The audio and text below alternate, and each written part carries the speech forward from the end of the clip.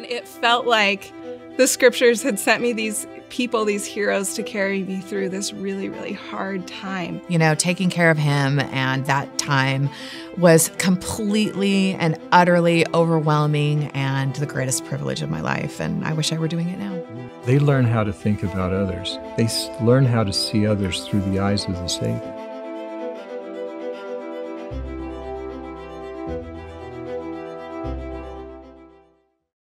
Hello and welcome to Latter day Profiles. I'm Brian Howard. We're here at the LDS Motion Picture Studio in Provo, Utah. And joining me today is Tammy Uzelac Hall. Tammy, welcome. Hi, thank you. So good to have you. People recognize your voice at least from the Sunday on Monday podcast. Some people do. Uh, yes, and you've also been a seminary and institute teacher as well. Yep. Uh, you are a, a, wanted speaker at many of the women's conferences and things like that. So Kind it's good to have you here, and people can do a Google and see some of the videos that you've done. You have some fun stories to tell. So it's so, so good to have you here. Uh, as I was doing some research on you, you grew up in Utah, and as you're growing up, uh, what were your career plans? What do you think you're going to be? I think you talked about being a nurse or something like Oh that. Oh gosh. I mean, originally when I was a you know 12 years old in what they called beehives, uh, I was going to just grow up, get married, raise my 12 kids while I put my husband through medical school. Oh, yeah, yeah, yeah. That was my life plan. I wasn't going to go to school. And I laughed because my dad, my senior year, he came to me and he said, All right, where are you going to college? And I looked at him and I said, Dad, I'm not. I'm getting married and I'm going to have kids. And he, in his kind heart, looked at me and said, You don't have a boyfriend and you've never had a boyfriend. You didn't go to prom. So I just, I don't, oh, all right, whatever. So at the time, he handed me a Ricks College application and I just fill it out and I'm like, whatever. And that's what happened. I went to Ricks, I went to BYU, I served a mission, I came back and was a social worker for a couple of years. And then I had a very inspired bishop tell me I should be a seminary and institute teacher, which I was like, I didn't even like seminary when I was in it because my family moved from Utah to Missouri. So we did, we did early Oh, morning early seminary. morning. and- Oh, yeah. so I don't know, just a really cool spiritual experience that led me to take the classes. And I ended up becoming a seminary teacher. Got my master's degree and just taught seminary and institute Hmm. for a long time. Yeah. Did Did you enjoy? it? You know, as I was listening to it, so the first it wasn't a love at first sight kind of thing, but you learned to really love it. Mm-hmm.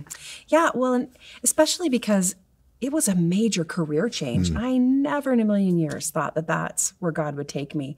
And so I remember my first couple of months teaching seminary, it was really hard because I had just taken the place of the most beloved seminary teacher ever, Michelle Boyack. That was her name at the time. And I, I joke with her, she was the Julie Andrews of seminary teachers. She could even play the guitar and sing. and so I came in and took her place, and the kids just weren't having it. And it was a hard sell. And I remember I went to one of my seminary teachers that I worked with and I said, you know, these kids don't like me. And I I don't know what's going on. And he he is just this very beautiful, calm, quiet man. And he looks at me and he, he leaves my office, comes back with his scriptures, and he opens up to Moroni. And I was kind of rolling my eyes. I'm like, listen, don't go scripture on me, mister. I was just tell me what to do. And he read from Moroni chapter seven about charity. Hmm. And he said, he read the chapter that says, Charity never faileth. And he looked at me and he goes, I think you just need more charity. And I was so offended because I said, I'm a former uh, social worker. I have charity. I love the homeless. They're my people. Like, don't tell me I need to be more charitable. And I gave all the reasons why I didn't need to have more charity. And he looked at me and he looked back at the scripture and looked up and said, well, it says it doesn't fail. So I don't have to tell you. And so I, at that moment, I was going to prove him and the Lord wrong that charity indeed would fail. And so I loved the heck out of those kids. I went to every, oh, and, and at this high school I taught at, they were the, the last place in everything. I went to every losing game, every concert, every show, everything they did to prove to those kids they're not going to like me. And gosh, you know what? Charity never faileth because by the end of that school year, when I got transferred, tears. Those kids were hmm. sobbing. They didn't want me to leave. I didn't want to leave. It was the most beautiful experience. Yeah, that's fun. And so I did. I got transferred and I've just taught at a bunch of different schools and I taught institute level too. And it really became a labor of love. I just loved teaching seminary and I love the scriptures, hmm. like love the scriptures in a weird way. Hmm. I, I didn't ever think I would, but it's, yeah, it's, they're the greatest. Now, as I was listening to some of the things you've done before, you shared a story I thought was intriguing, especially in the light uh, right now. that So many people struggle. There's something that comes up and they struggle with their testimony. It's like, oh, I didn't know that. And you shared a story about uh, a book that you read about the you know, history of Joseph Smith that threw a wrench in the work. And it's like, oh my gosh. So tell me about that. Oh, it was devastating. So, as a new seminary teacher, I mean, I always joke that when I became, when I went on my mission, I didn't even know Christ had come to America. I read 3rd Nephi 11 and I looked at my companions and I said, you guys, did you know Christ came to America? And they looked up at me. I was in a, three, uh, a trio and they looked at me and they're like, are you a convert? no, I'm not. I just, there, there's no song about Christ coming to America in primary, so I didn't know it. And so I, I, there were so many things that I needed to learn and things I didn't know. And I can remember we got to church history year, and one of the teachers that I taught with, he came to me, he recommended I read the specific church history book. Now, this is a long time ago, and many people try to guess which one it is. You won't guess it. It's an old church history book.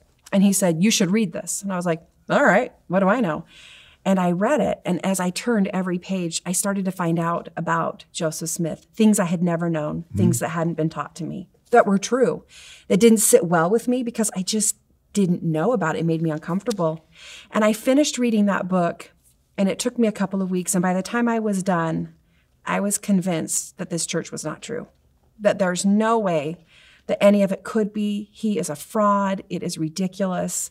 And I was mad. I was so angry that this teacher recommended that I read this book because at this point I had decided I'm done. I have to quit. And now I got to find a new job and a way to make pay my bills. I mean, I had already gone down that rabbit hole.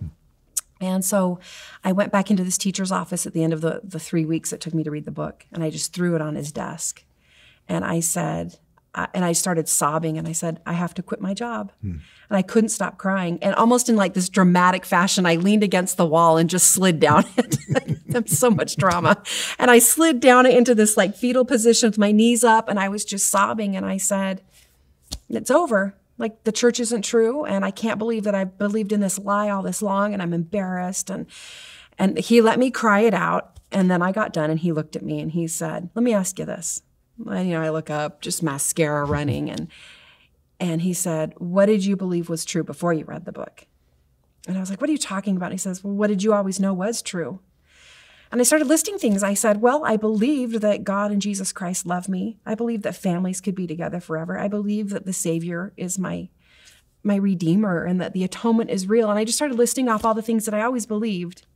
And he looked at me and he said, If you believed it was true before the book, it's still true. None of that has changed. Just because you read something that made you uncomfortable and that you weren't sure about doesn't have an effect on what is true. Truth is truth. And he just kind of talked me through that whole situation. And he said, You have to find this out for yourself. This is important. That's why I had you read the book. And I, oh, I was so mad at him because I was really happy just not knowing. And um, he said, You're going to have to work this out and figure it out. And, um, and I, he's like, You don't need to quit. You're being so dramatic. And so I remember I spent every day praying that I would know if Joseph Smith was a prophet. And what was interesting is that I had said that exact same prayer on my mission mm-hmm. because I had been challenged if Joseph Smith was a prophet. And I'd never prayed about that before. And I remember praying on my mission, is Joseph Smith a prophet? Thinking I would totally have a Joseph Smith experience. And I didn't. I woke up the next morning feeling the same way I did that night when I prayed. Mm-hmm. And I just put my skirt on and got to work. And I, that was 10 years. And now here I am, 31 years old, saying the same prayer. And it took, it took months until finally I was teaching the kids from Joseph Smith history the story where Joseph Smith says, I knew it and I knew God knew it and I could not deny it. And it just, from my head to my toes, I knew it and I knew God knew and I could not deny it.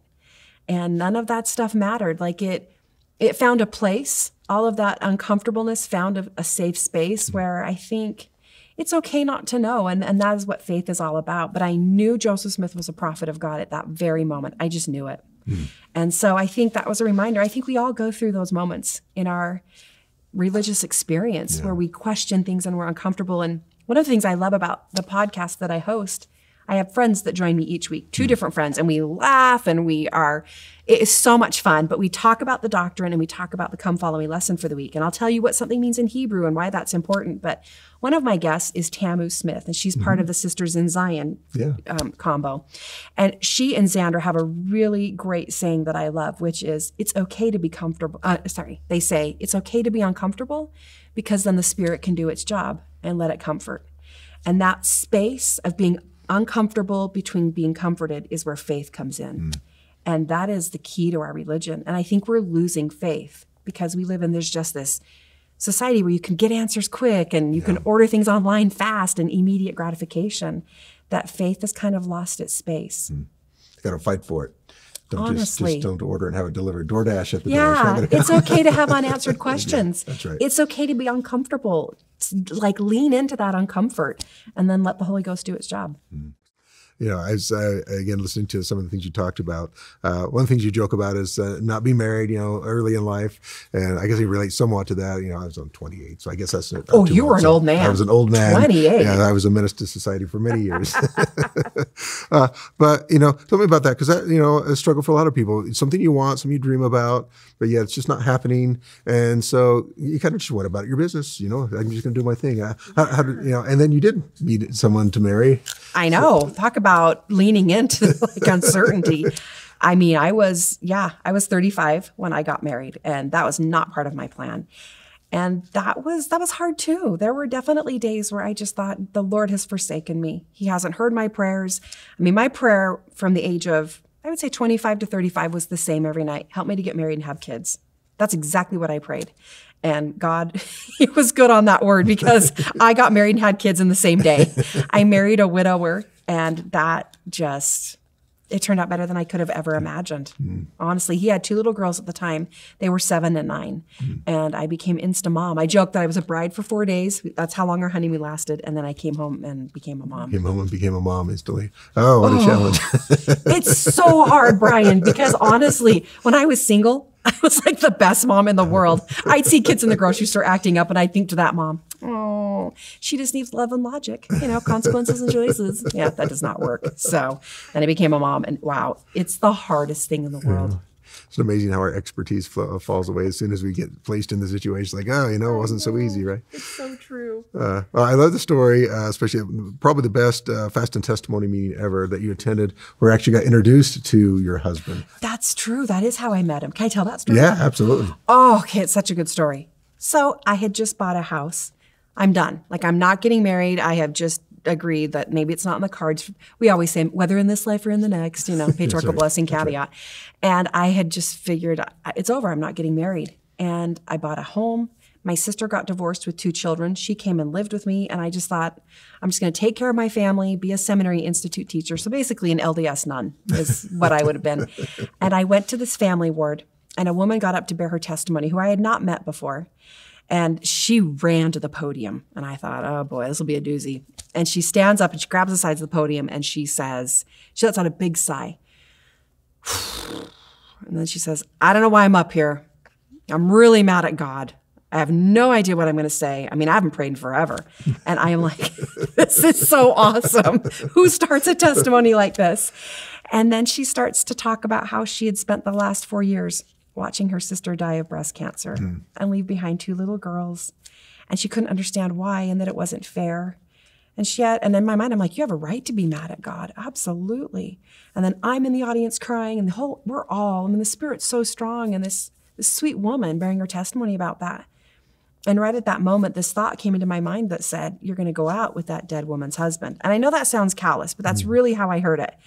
And then I laughed because seriously, it could have been someone who's 70 years old. And I would have thought, oh, we'll probably get set up because I had dated the free world. Brian, you probably know someone I went out with. I'm surprised we didn't date. I mean, I dated every single guy. I once flew to like North, no, where did I? Oh, I flew to, um, Santa Fe for a date. Oh, like New I Mexico. dated New Mexico. I dated everybody. So I got out of sacrament meeting and I walked into Sunday school where I would be the teacher. I was teaching gospel doctrine and she's on the back row. And I went up and introduced myself to her and I said, Hi, I'm Tammy. I know we've never met, but thank you for your real and candid testimony. And she grabs my hand and says, I want you to go out with my dead sister's husband. and I was just like, who has a pen and paper? Let's write this down. And I wrote my name and number down so fast. And he called me that Thursday and we mm. went out and then we got married nine months later. Wow.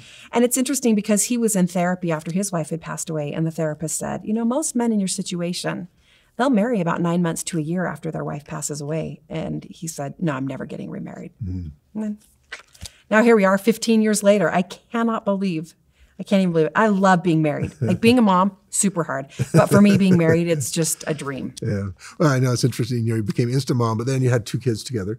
And so you also went through kids that were seven and nine at the time, right? And then the babies. So you got the whole full, whole full experience. Yeah. And uh, challenging. Now, how old are the seven and nine year olds now? Oh my gosh. Now they're 25 and 23. Oh, wow. And then 15 and 13 are 15 the and other 13. two. Isn't that crazy? Yeah, yeah. I know. I can't flies. even believe it. And they're just, right now, we're just a good space. Like they are just delightful human beings. I love them so much.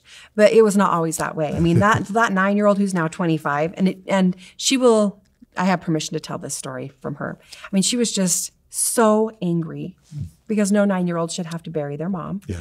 And uh, really angry for many, many years. Did not like me. I did not like her. It was rough.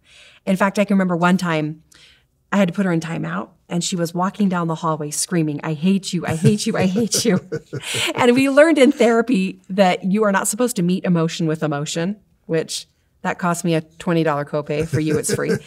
You're not supposed to meet emotion with emotion. And so she's yelling at me, I hate you, I hate you, I hate you. And I'm just standing there holding my tongue and folding my arms. And I'm like, I know, you know, answering so softly.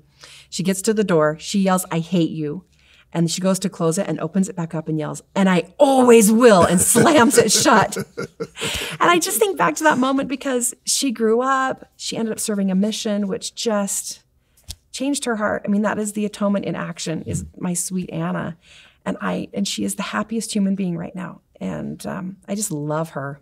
But it's just funny because when she was nine, if someone had said, you know, she's going to serve a mission, I would have been like, God will never use someone this angry.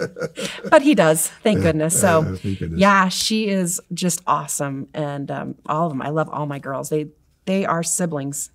They fight, they love, all of that. Well, I want to talk to you about your podcast, your book, and your love of Hebrew.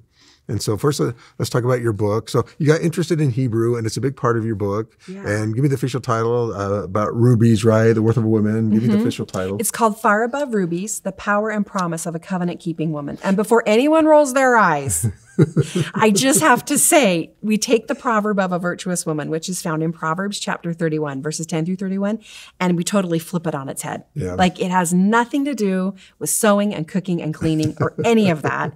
It is solely about a covenant woman relationship with Christ, and all women are doing it. Yeah. And now everyone's clapping. Oh, yay. And by the way, sold out. I tried to get a copy. It's sold out everywhere. So that's uh, obviously people are getting the message, which is fantastic.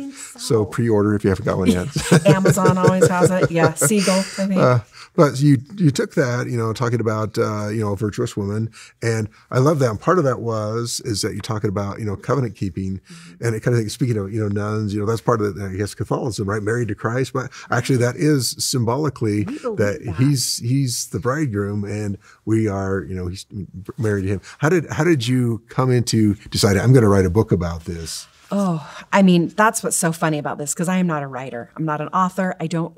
I always joke that the last book I read was Superfudge. Do you remember Superfudge? I do. I always joke that's the last book I read just because I'm not like it's crazy that I'm at this point where I I can say I wrote a book, but truly Heavenly Father was awesome, divinely guided every word.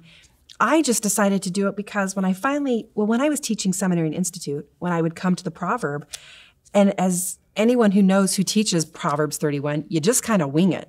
There's nothing written about this proverb. Nothing. Not hmm. one religious scholar has said, here's what these verses mean. Every lesson for this specific verse of scripture just says qualities to look for in a future spouse hmm. or qualities to look for in a wife. And so I remember just making stuff up. Like we'd get to a verse and I'd say, well, this probably means she's a really good cook. And this probably means like, Verse 21 is the one that kills me. She's not afraid of the snow for her household, for all her household is clothed in scarlet.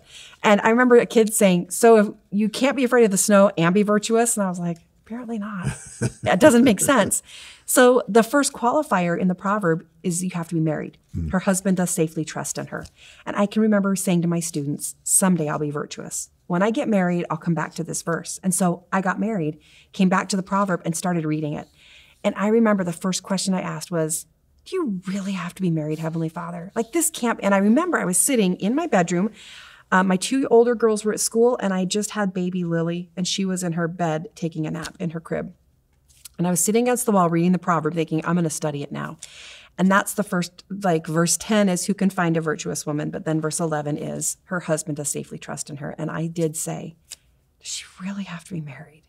Because there's so many great women out there who are single. And I sat there and waited for an answer, and the Spirit was so strong, and it said, The husband's Christ. Hmm. You've always known that. We believe that throughout the whole Old Testament. And that's what began my journey as I thought, I've got to find out what this proverb is about. And so I ended up taking Hebrew class, and I've been studying Hebrew for seven years, and I will study it for the rest of my life. There is never going to be an end spot for me because it is so intense. But I read it in Hebrew, and I found out that it is an allegory, and that these 22 verses of scripture really actually mean the husband's Christ, and every verse is how covenant keeping women are enough. And you don't even have to be perfect at it. You just have to be trying, which is so cool. Yeah, which is so cool. Uh, And by the way, snow ends up being death. oh, She's not afraid of spiritual death or physical death. And it says for her household, which is such a cool word. It actually means anyone who falls under her umbrella of influence. So You don't have to have kids. And then it says for her household is clothed in scarlet. And scarlet is a symbol of the atonement of Jesus Christ. So, of course, we're not afraid of physical or spiritual death. We get uh, it. yeah. So, that's Makes, makes so is. much more sense. So I don't have to bury my fear of snow anymore. totally. And virtuous isn't modesty or chastity. In Hebrew and in Latin and in Greek, it is power or strength. When the Savior is in the story about the Savior and the woman with an issue of blood, she touches the hem of her garment and he says, I felt virtue go out of me. Hmm. Like he didn't say I felt modesty leave me or chastity leave me. He said virtue, and that means power or strength, his power. Interesting. So we are filled with his power when we enter covenants. So interesting to get those insights uh, with the Hebrew, especially with the Old Testament, I'm sure. I mean. Okay, can we just do a verse of scripture? Yeah, is that okay? Pull one out, Okay, see it. okay, because this is my favorite thing well right worn, now. by the way. I'm very impressed. Very well worn. Oh my gosh! I know. I bought a new set of scriptures for the podcast, and it's a journal size, and it is like this big. like, what was I thinking? Okay, this is my favorite. You will love this. Okay. Okay, so this year we're doing Ex- we're doing the Old Testament, and we just got done studying Exodus, where Moses brings the children of Israel across, and they're about to part the Red Sea. But before they part the Red Sea, Pharaoh finally says to Moses, Get out of here, just go. Like, take your people, I'm done. And so Moses is leaving with all of the children of Israel. And I love in Exodus 14, verse 8, it says, uh, this verse, the children of Israel went out with a high hand. And in Hebrew, the translation for that is they went out triumphantly, like, Oh, yeah. yeah, okay. we did it. You know, they're so excited. And I'm just imagining me going, yeah. And then I turn around and I see Pharaoh and all of his chariots coming down the hill. And I'm like, ah, you know, like, shoot. And so you turn the page. And the children of Israel are freaking out because what's going on is they're now they're starting to piece things together. And I wonder if they're like, wait a minute, Moses and Pharaoh, they knew each other. Maybe this was a setup the whole time, and they're just going to kill us all right here, every last one of us. So they turn to Moses and they say, It would have been better if we just stayed in Egypt. I can't believe you dra- drag us out here, and they're so sad. And then what's so cool is now touch the base of your neck. This is kind of fun. Okay. Touch the base of your neck and see that bone at the very base. Mm-hmm. Then there's a soft spot. Okay. Okay. If you push your finger all the way through that soft spot, you're going to hit what's called the amygdala.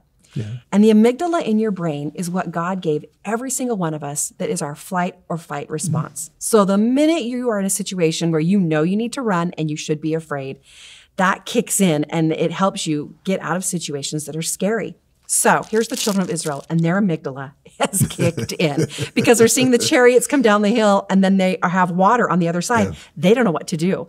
And for me, I would be screaming, run or swim. Like, we got to get out of here. And it's so fascinating that in Exodus chapter 14, verse 13, this is what Moses and the Lord says. Moses said unto the people, Fear ye not, and stand still. Isn't that interesting that he, mm-hmm. they're telling him, do the very opposite of what your body's telling you to do? And so the children of Israel are probably thinking, You are crazy. So he says, Fear not, stand still, and see the salvation of the Lord, which he will show to you today. Not next week, not, not when it's good and for him, but today something good will happen. And then I love verse 14. And the Lord shall fight for you, and ye shall hold your peace. Now I looked up hold your peace, and one of the meanings in Hebrew is to be deaf to voices mm. around you. Mm. And I think when we apply that to our own lives, when the Lord is like, fear not, stand still, and don't listen to Satan. Don't listen to all of his minions saying, you're not good enough, you're dumb, you can't do this. Who's going to fight for you? He's not going to come today. I mean, just all those voices. And I think it's beautiful because then in verse 15, the Lord says unto Moses, Wherefore criest thou unto me? I just think that's makes me think of Jim with all these girls. Who why are you crying? Let's just solve the problem. Why are you crying? Speak unto the children of Israel that they go forward. Hmm. Like, just take a step. I've got your back. I'm here with you. Don't listen to what everyone else is telling you. And you must, I mean, there had to have been so many voices. Children of Israel. Oh, yeah. Yeah, I mean, it yeah. numbered that there were 600,000 just men, not including kids or, chil- or women. So there's over like a million people screaming all sorts of stuff. And Moses is like, listen, it's kind of like our version of chill out, Chill, right? Fear not, stand still, don't listen to the voices, just take a step forward. And at that moment is when Moses parts the Red Sea. Mm. And then it says they went through on dry ground, which I think is so awesome because I have missed that portion of that scripture for so many years. I mean, not only did he do the miracle, but I love God because then the Lord and God basically won up the miracle by making the dry ground. yeah. Didn't even have muddy feet. Oh, ah, awesome. I mean, it should have been muddy and stinky and fishy, but dry ground, and then they just take off. It's the coolest. Like that is what Hebrew does for scriptures. Yeah, it's not so amazing. fun. Yeah, great, great, great insight. And then we apply it to our own lives because every one of us, I think today in the world we live in, our amygdala is in in yeah, it's, Oh, it's, it is in high demand. It is constantly moving. Just uh, we are in a fight or flight mode almost every day. But I think when we put our trust in the Lord and go to Him, He says, "I'll fight your battles. I'll show you the salvation of the Lord. Just stand still, be calm. Don't listen. I'm going to do this for you."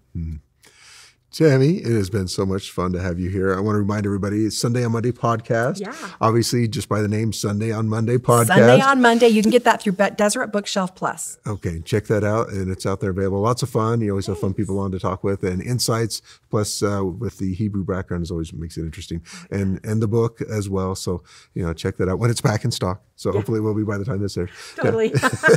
Debbie, thank you so much for taking the time. you, so much fun to have you. Oh, this was awesome. What a great program. So thanks. Oh, thanks, Debbie.